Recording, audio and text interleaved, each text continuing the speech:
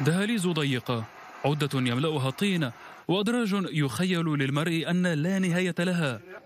هكذا تبدو أنفاق حزب الله وتحديدا النفق السادس والأخير الذي اكتشفته القوات الإسرائيلية على الحدود مع لبنان قبل الشروع في تدميره على غرار ما فعلت بالأنفاق الأخرى. الفرق الأساس بين هذا المكان وغزة هو أن حماس في غزة تحفر في أراض رملية لكن هنا نتحدث عن أراض صخرية.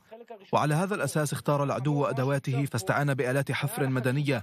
نرى هنا جزءا منها. هذه الأداة استخدمت لتركيب قائم عليها وعلى هذا القائم نصب وعاء الحفر الذي يحفر في الصخر. يقول الجيش الإسرائيلي إن جميع الأنفاق التي اكتشفها على طول الحدود كانت قيد الإنشاء ولو بنسب متفاوتة وإنه ضيع على حزب الله فرصة المفاجأة التي كان يخطط لها أي تنفيذ ضربات في العمق الإسرائيلي على حين غرة. بحسب ما يفيد الجيش الإسرائيلي فإن هذا النفق ينطلق من قرية الرامي اللبنانية تجاه الحدود ومن ثم يخترق الجانب الإسرائيلي لمسافة لا تقل عن 70 مترا. طوله الكلي تقريبا 700 متر.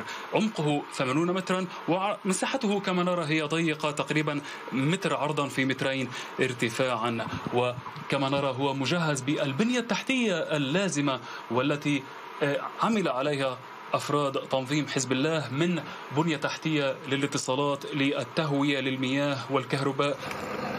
وكانت إسرائيل قد بدأت في الخطوات العملية لتعقب وتدمير الأنفاق نهاية العام الماضي خلال عملية سمتها درع الشمال. مثل هذه الأنفاق على سبيل المثال خرقت الخط الأزرق خرقت الحدود الإسرائيلية خرقت السيادة الإسرائيلية والحدود المعترف بها. ولذلك كل بيانات اليونيفيل القوى الدولية العاملة هنا تؤكد الرواية الإسرائيلية بأن أنفاق حزب الله اخترقت الحدود وخرقت القرار الأممي 1701 بالتوازي مع هذا كله انطلقت مؤخرا جهود دولية لترسيم الحدود البرية والبحرية بين لبنان وإسرائيل. خطوة يؤمل منها إزاحة العقبات بين الجانبين في هذا الصدد وعرقلة انتهاك أي طرف لسيادة الآخر.